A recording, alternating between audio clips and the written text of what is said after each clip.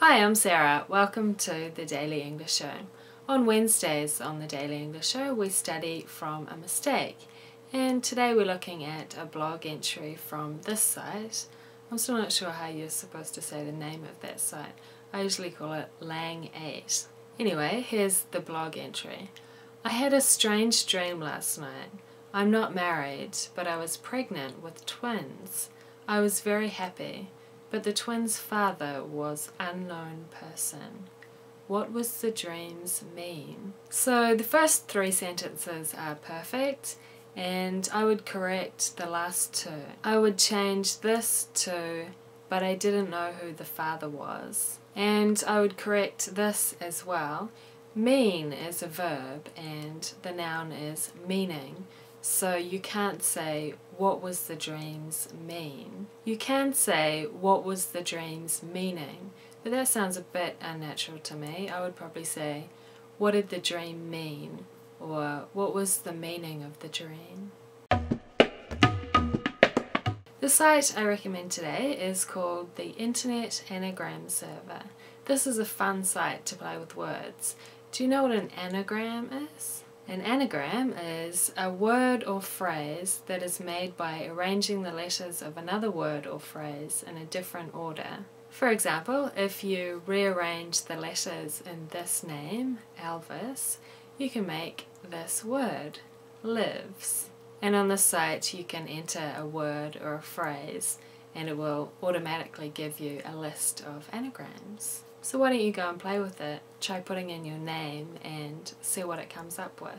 I put in the Daily Englisher and it gave me 52,632 results. Here are a few of the results from the first 1,000. None of them make much sense. A ed lesson, highly with. A ed towel, highly shins. A ed scent, high owlishly, a hedge sh noisily wilts, a edge thinly his howls, a ed lightens, high shy owl. Kia ora, in Stick News today, an electronic teen repellent has been installed in a park in Tokyo in an attempt to curb vandalism. Over the past few years, Kitashikahama Park has suffered from repeated acts of vandalism. People living near the park have also complained about noises late at night, such as loud voices and fireworks. A park management official said damage done by youngsters last year cost about 700,000 yen. So they decided to rent an electronic noisemaker called the Mosquito MK4 anti-vandal system. The device generates a harmless but irritating sound that teenagers can hear but most adults can't. It was installed in the park on the 21st of May and operates from 11 pm to 5 am. And that was Stick News for Wednesday, the 27th of May. Kia ora. Today's word is sod. The other day I went to the hospital and while I was sitting in the waiting room I saw a magazine called SOD which stood for Japan Superoxide Dismutase Research Organization. And I thought it was kind of funny because I'd never heard of superoxide dismutase, if that's how you say it. But I know another meaning of the word sod. Sod, vulgar slang, chiefly British, an unpleasant person. For example, you stupid sod.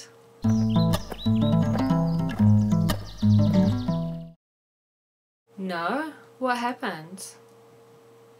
And they kept it? Where did they go? Would you keep the money? Did you hear about that couple in New Zealand who got $10 million from the bank and then just left the country? The guy applied for an overdraft for $10,000, I think it was, but someone at the bank made a mistake and accidentally gave them $10 million. Yeah, they took the money and left the country. I think they went to Hong Kong. No way. You couldn't relax and enjoy the money anyway, you'd have to keep running. Which phrase is an anagram of Clint Eastwood? A. He bugs Gore. B. I am a weakish speller. C. I'm a dot in place. D. Old West action. E. 12 plus 1.